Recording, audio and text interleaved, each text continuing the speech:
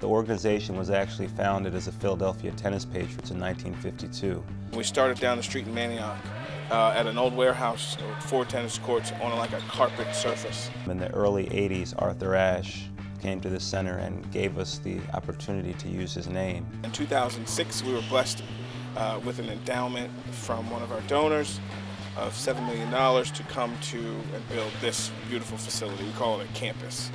And now we're Legacy Youth Tennis and Education. And we are still inspired by the life of Arthur Ashe. Legacy is about people and community. We're dedicated to serving the kids from the neighborhoods and to providing them with the ability to learn tennis and take it to wherever they want to take it.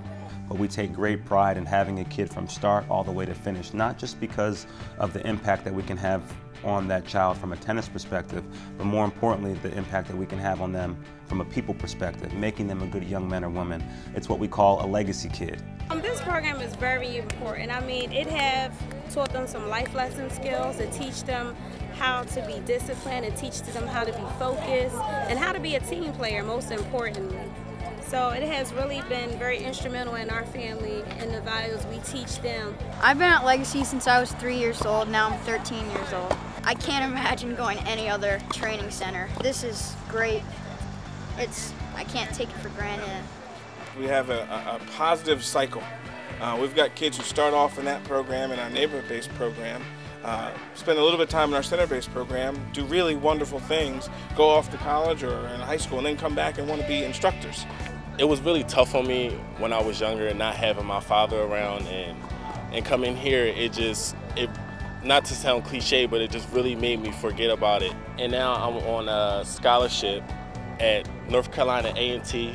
Um, that's Division One. We have a program called Goodstein Junior Leaders, um, which is our youth leadership initiative. They've been to Haiti to help build a school after the earthquake. They just went to Israel this past summer as a part of a cultural exchange.